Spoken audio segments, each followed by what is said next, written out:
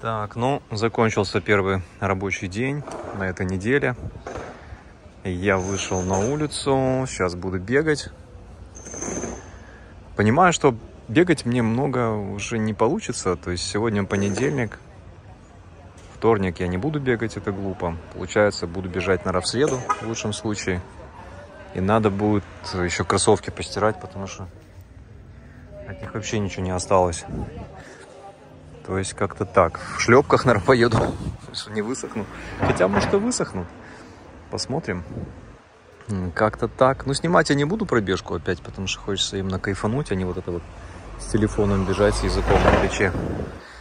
Но если что-то будет интересное в Банусе, обязательно вам поснимаю.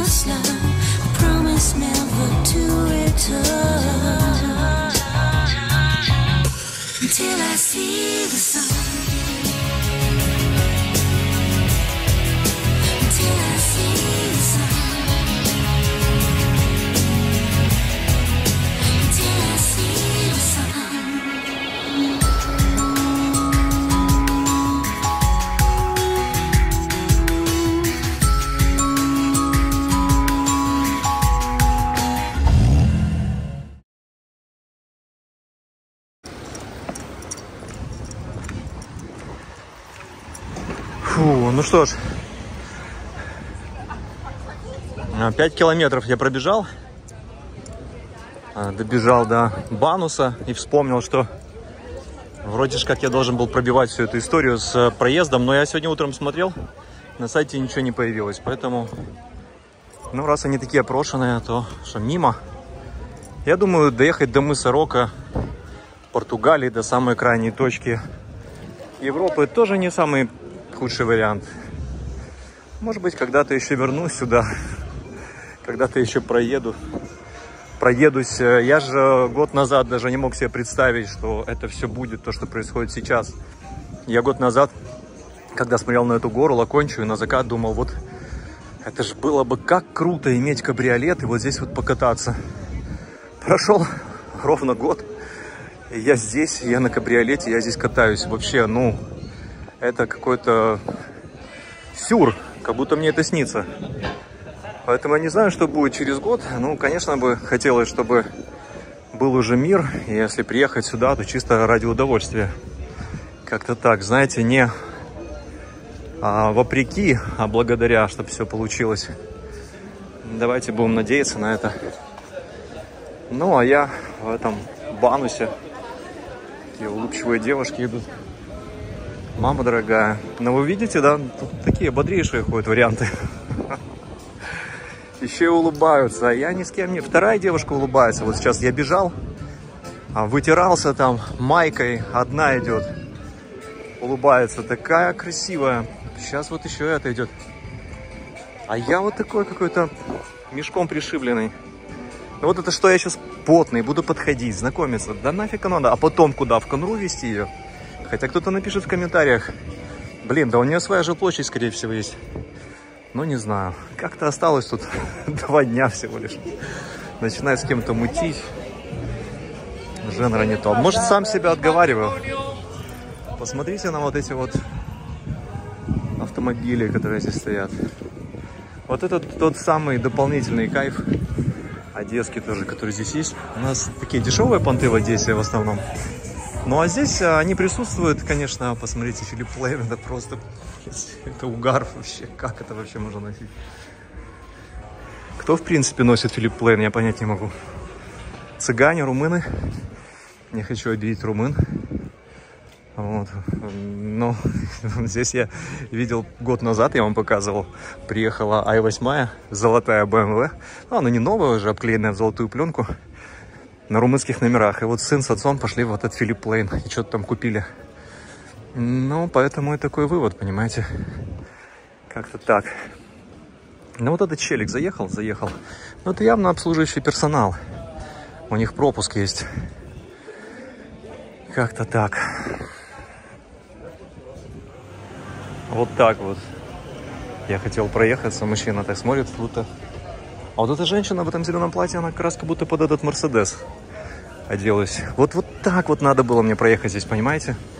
Вот такая была задумка. Ну, конечно, я немножко не AMG Mercedes, а свежий, новый.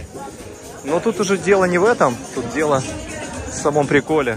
Знаете, хотел показать вам как раз тот случай, когда, э, знаете, есть э, такая поговорка, что э, девушку можно из села или там мужчину, человека вывести, а село из человека нет. Вот та же самая история с этим Роллс-Ройсом. Как бы здесь и село, и Дубай. Дубайские номера. И, ну, там, э, короче, вот эта вот история. Э, ляда она, по-моему, или как она называется. Э, она идет деревянная, прикольная. То есть задумано Rolls-Royce очень неплохо. Там деревянные панели. Но э, челик, который ее водит, видимо, у него что-то со вкусом. Ну, явно какие-то проблемы. Посмотрите, просто обклеить Rolls-Royce пленкой. Это... Ну, это что-то... Что должно быть с головой? Посмотрите вот на это место, где вылазит значок. Вы видите, да? А на это вот оранжевое. На оранжевые акценты. То есть, в принципе, я думаю, у этого человека, который приехал сюда на Роллс-Ройсе, ну, Роллс-Ройс явно здесь на каком-то пароме или на яхте привезли, у него деньги есть, но что-то со вкусом явно. Там, видимо, недобор. Ну, это очень грустно. Это еще раз доказывает мою дилемму. Не дилемму, блин. Теорему, аксиому. Вот, э, касающийся богатых людей. Очень часто богатые люди очень даже недалекие. То есть это не факт, что человек много заработал, потому что он слишком умный. Иногда очень часто это и удача, это и родственники богатые, это и богатая жена, такое тоже бывает. И как бы э, вложился в нормальный про проект и понеслось, в принципе, при деньгах. А вот что-то там как-то... Ну, вот. Но, с другой стороны, если человек приезжает в такие места, как Марбелия и гуляет по Банусу, то, в принципе, э, вкус у него должен появиться рано или поздно. Потому что здесь таких экземпляров, которые пленкой обклеивают суперкары, пока еще нет. То есть, э, ну, со вкусом здесь, в принципе, все в порядке. Я думаю, очень надеюсь, что этот челик из Дубаев вернется в себе, в себе в Дубаи, снимет эту пленку позорную, поменяет значки, да, и, может быть, просто, просто поменяет машину.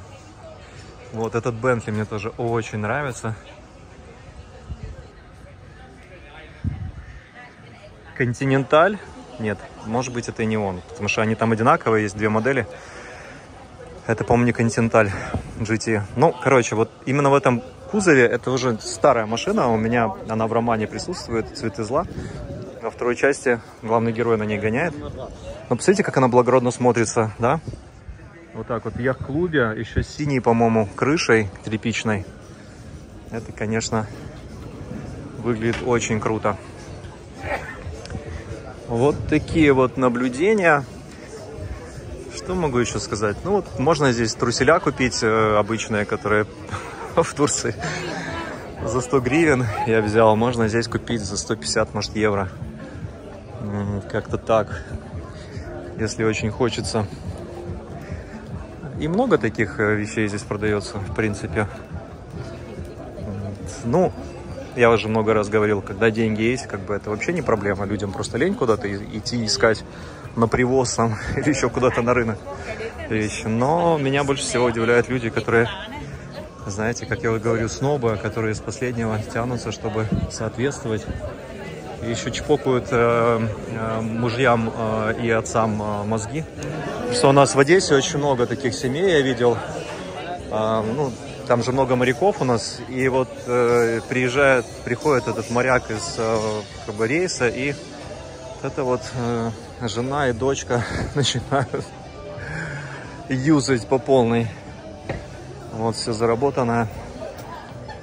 И как бы не сказать, что моряки очень богатые люди, но да, на закате там Советского Союза они, конечно, выделялись тем, что они зарабатывали в валюте, и там у них была денежка, и можно было купить э, обувь кемпер на то время, и в Маркопице затариться в Одессе в 96-м, 97-м в Космо пойти, как бы это все было реально, но сейчас это уже немножко не актуально, и так грустно смотреть, как вот так вот э, семейки такие э, все-таки берут и зарплату нажитую, можно сказать, потом спускают на такие брендовые вещи, которые типа брендовые, а по сути просто обычное фуфло, извините за такое слово в эфире.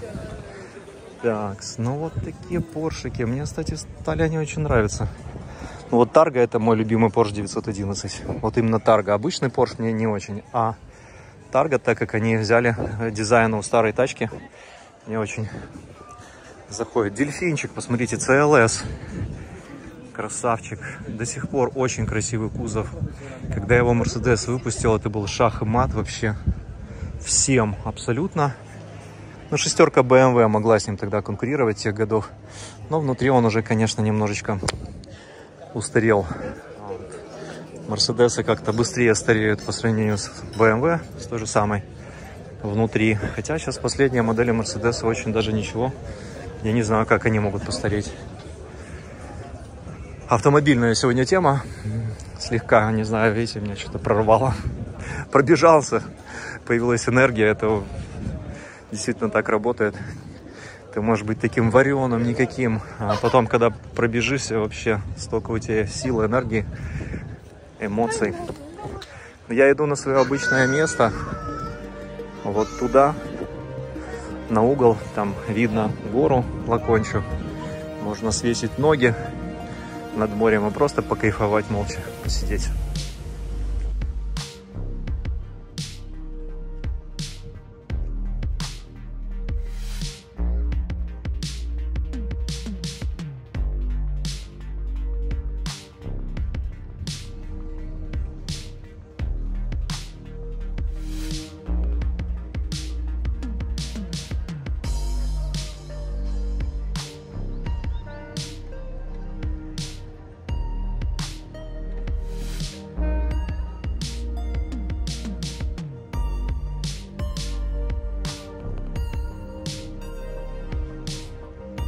Как я могу не снять еще вот этот автомобиль? Посмотрите, какой красавчик Mercedes 190 SL.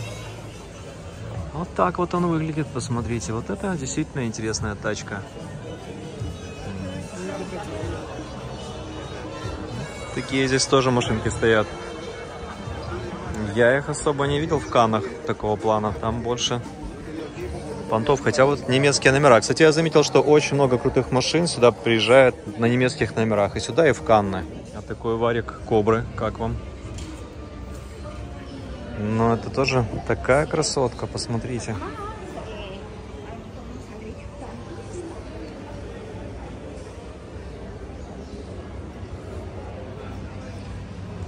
Не, ну вот эти машины, они здорово выглядят, действительно.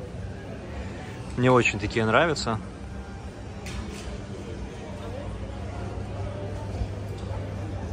Очень нестандартно, очень круто. Помните, в Канах там был какой-то челик, который ездил в шлеме на какой-то хероборе вообще непонятной. И мне мой знакомый написал, о, это такая классная марка английская, там эта машина стоит типа 200 тысяч евро или что-то такое. Что вообще происходит в этом мире? Что у людей в головах? Какой там какой-то я даже не знаю, я не, не помню, как эта штука выглядела, но непонятная такая одноместная херня, и там человек реально в шлеме ездил, потому что там ни лобового стекла, ничего нет. Зачем? Зачем еще 200 тысяч заплатить за это? Вон, пожалуйста, Кобра.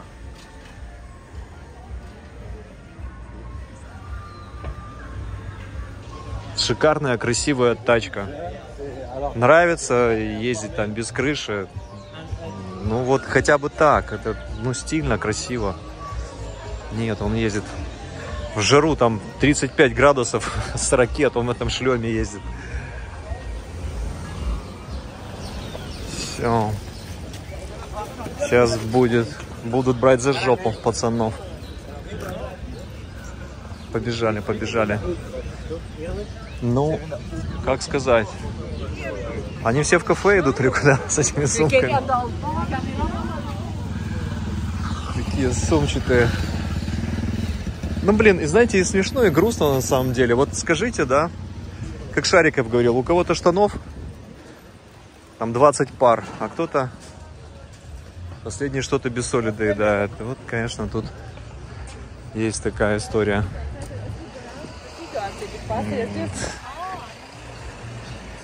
Здесь ребята, конечно, из Африки, ну, разнятся по сравнению с этими дедушками в рубашечках льняных и прочими, прочими людьми на крутых тачках. Что-то в этом году кабанов нет. Неужели все на хамон пошли? Я здесь когда год назад бегал, в это время бежишь, тут стадо кабанов переходит дорогу. Как-то так, было прикольно. Видите, какая такая девушка загадочная сидит в одиночестве. Так, ну вот смотрите, какой вид. Вот, вот я иду, и это мой вид. Вы понимаете, да? Такое, такой мост. Это гора, облака там. Я забирался выше облаков, получается. Но куда я иду? Я вам сейчас раскрою секрет. Я все время по мосту иду. А здесь эти утки-гуси обитают. А ну как кто быстрее до воды дойдет. Вы или я? Они хотят скрыться, видимо. Хотят скрыться свою... Не хотите скрыться? Вы ко мне идете? Пацаны. Нифига себе. Вот это да. Я думал, вы меня боитесь. Что, идете на фуагру? Кабаны пошли на хамон, вы на фуагру, получается.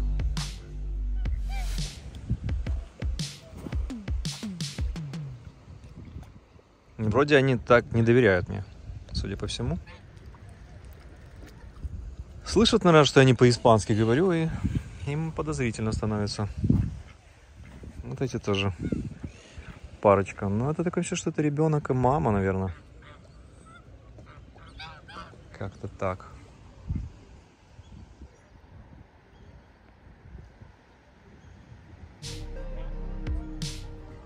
Ну, скажите, красиво, да? Вот этот мост, там закат, здесь вот это вот заводь, а тут море.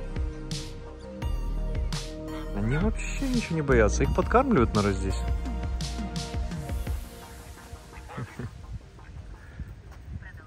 Там русскоязычная девочка говорит, у меня нет еды, что вам от меня надо? Они, видимо, здесь э, район держат. Девочка боится. Это бандиты настоящие.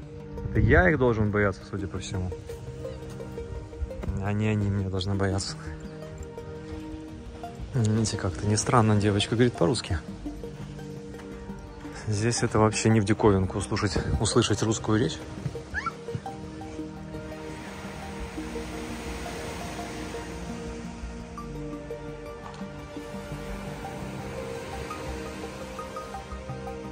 Я про это вам и говорил. Вот так вот я возвращаюсь домой. Сейчас еще стемнеет, я в Литл зайду, возьму фисташек. По старой традиции. Хочется, хочется чего-то погрызть перед сном. Посмотрите, да, эти облака, это лунная дорожка, это море такое спокойное, гладит берег. Вот это Марбелия. Вот это то, во что ты влюбляешься. Я вам говорил, что я Го очень люблю Арамболь, да, но там есть свой прикол. Там он грязный такой, неухоженный, но там есть тоже душа. Здесь присутствует душа, как и в Арамболе, но здесь все чистенько. То есть это такой европейский Арамболь для меня. Очень круто.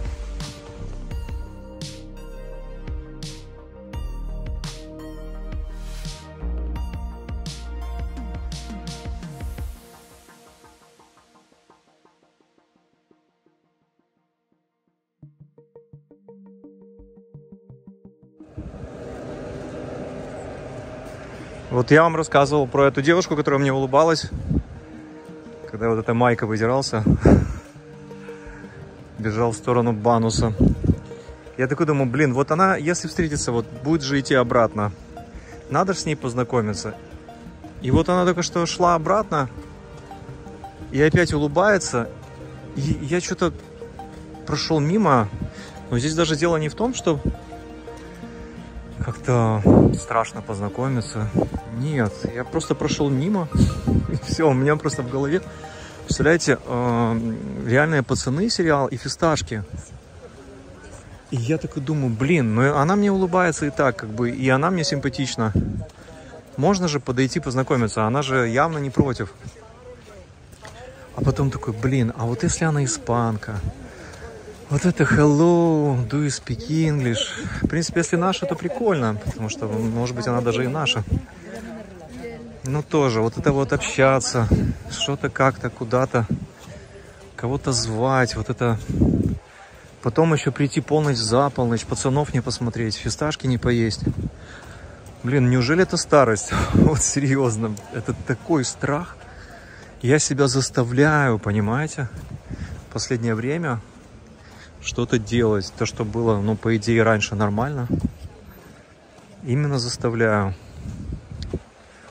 Мне реально, ну, мне легче и прикольнее, как я понял сейчас, просто дойти до дома, дойти до, ну, в Lidl, там, купить что-то, какие-то штуки-дрюки прикольные, прийти домой, в подвал, включить фильмос, и лежать кайфовать, чем вот это вот, вот это вот что-то с кем-то разговаривать, на кого-то производить впечатление. Просто ужас. Может быть, с другой стороны, я думаю, а что если я верный? Понимаете? Ну, типа, я же общаюсь с той девушкой, которая из Одессы должна приехать в Венецию. И это некрасиво знакомиться с другими. Но с другой стороны, блин, мы даже с ней особо-то и не виделись в жизни. Ну, только один раз выбиться. И ну и чё, как бы не факт вообще, что что-то будет. Можно знакомиться. Я бы не сказал, что я там... Не, я верный, когда все в отношениях отлично, но это некрасиво что-то там мутить на стороне. Когда девушки не лагают, прям вообще отлично. Зачем что-то выдумывать? Но вот тут непонятно, что конкретно. Потому что тебе реально идут, улыбаются, на тебя смотрят. Че не подойти, не познакомиться? Вот. Ну вот реально я себе начал задавать этот вопрос. И первое, что вскочило у меня в голове, там ни верность, там ни... Ничего такого. А фисташки и реальные пацаны. Сезон там, там где они в Москву поехали все. Он такой смешной. Я его который раз пересматривал. И типа, да нет, ну реально пацаны прикольнее. Колямба там, все остальные. Посмотреть, поваляться. Вот это да, просто жесть. Так я реально старею. Вроде так как-то не особо и видно, знаете, со стороны. А вот что-то есть такое. Не, надо брать себя в руки. Так ненормально. Действительно. Посмотрите, какая красота. Ну вот да, с кем-то познакомиться в, в такой-то атмосфере. Ну реально романтично, красиво. В на променаде. Привет, как тебя зовут? И т.д. и т.п. Вот, но... Но нет. Фисташки и реальные пацаны. Так, давайте я вам пообещаю, что я обязательно познакомлюсь, если в следующий раз мы снова встретимся. Вот завтра, допустим, я пойду в Порт Банус, а я все время каждый вечер хожу. Или хожу, или бегаю. Вот пойду, встречусь, все, обещаю, я познакомлюсь. Потому что, ну, ну как это вообще? Ну куда это годится? По клубам я не хожу, знакомиться не знакомлюсь. Поэтому все, шишенькам обещаю, все будет отлично. Познакомлюсь и вам все расскажу, как на духу. Вот. Если кому-то нужен вот нужно кресло, пожалуйста. Улица Мурила. Какой тут номер? Ну, короче, она короткая, это улица Мурила. Вот Каза, Каза 10. Так что нормально. Можно забрать, стоит. Химчистка, все дела, и можно пользоваться. В Европе это очень модно, как оказалось. У меня куча знакомых, вот, с которыми я общаюсь здесь, которые подбирают мебель, чистят, пользуются и как-то так. Правильно я сделал, что не пошел за этой девушкой. Сегодня до 21.30 работает магазин. Эти фисташечки мои родные. Ну и желе без сахара.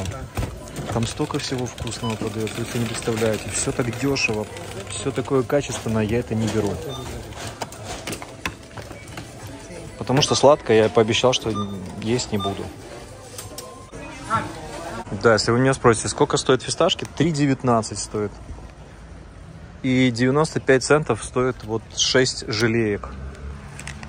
Ассорти 3,19, 250 грамм. Это не по скидосу я беру. Я беру, беру реально как богач. Там есть пол килограмма. По-моему, 5 евро стоит. В два раза больше. Но что-то я не беру их, потому что соль задерживает воду. Представляете, какой я шизанутый? Ну, да, паром просто. Не паром, а этот круиз. Через сколько дней он? 16 через, через две недели, ровно через две недели. Просто жесть. Конечно. Вот видите, от них одни беды от этих девушек. Фисташек полкило не возьмешь. Шоколада не поешь какую-то лабуду берешь, желе какое-то без сахара. Что это такое? Ладно. Вы меня спросите, а как же твой принцип шубы, про который ты рассказывал? Твоя история про шубу, про пацанов в 90 каком году, 99-м. Это все было, когда ты не поел шубу, и тебя прокатила девушка. И ты пообещал себе брать все, что ты хочешь, вот, есть все, что хочешь, и не оглядываться ни на кого. Ну да, было такое, как бы оно и есть. Это когда выбор, ну, как бы да или нет.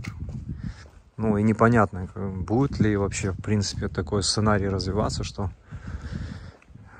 там мы будем вместе или тебя прокатят. Ну, здесь вроде как меня не прокатывают, вот в чем вопрос. Единственное, что там могут рейс отменить, но придется другой билет брать тогда. Что делать?